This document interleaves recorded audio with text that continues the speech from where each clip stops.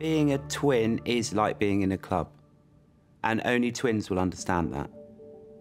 You belong to your own little private world.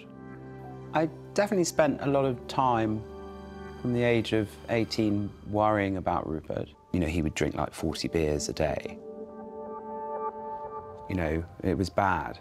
I had a big moment when I realised I couldn't save him. And that kind of brought a whole load of grief, the fact that I couldn't save him. I tried my hardest.